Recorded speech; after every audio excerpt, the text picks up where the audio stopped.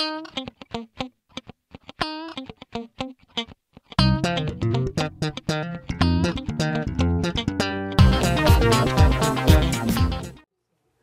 how does the information get up there?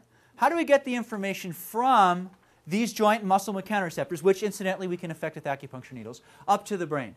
We've got a couple different pathways, the dorsal columns, the spinal thalamic tract for pain, and the spinal cerebellar tracts um, for more proprioceptive um, type of information. Okay, here's some sensory pathways here.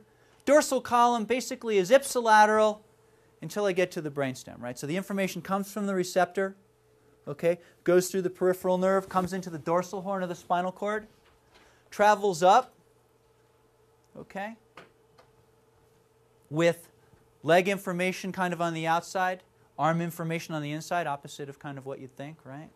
And then when it gets up to the cervical medullary junction, it crosses. And something you'll remember is all second order neurons always cross. That's just something that might be useful to know. So information will cross and then ultimately come up through this thing called the medial lemniscus. Everybody's scared. They hear that word, ooh, the lemniscus, like that's one of those brain things. All lemniscus means is going to the thalamus. Whenever you hear that, it's just some pathway that's going to the thalamus. And most neurological pathways are named either like where they're coming from, where they're going to, or their location anatomically. And the medial lemniscus happens to be medial to, guess what? The lateral lemniscus, which is for hearing. Comes up to the brain and then ultimately goes to the thalamus and then goes out to the parietal lobe, which is in the postcentral gyrus area. Okay? Um, this is going to be spinothalamic, which is basically going to be your pain pathway. Its second order neuron crosses because its synapse is here.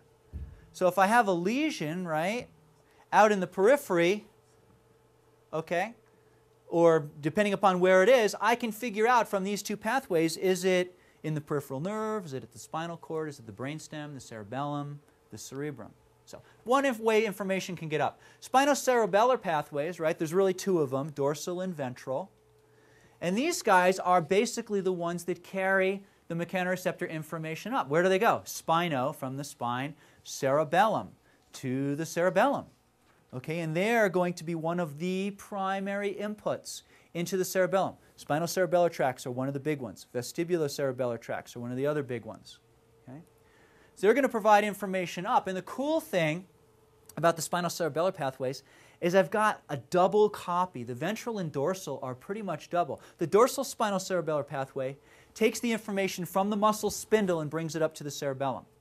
The ventral one is a feedback loop. So basically what it does is it takes a copy of that efferent information and doubles it back to the cerebellum. So we got a system of checks and balances, one system checking the other. It's way cool.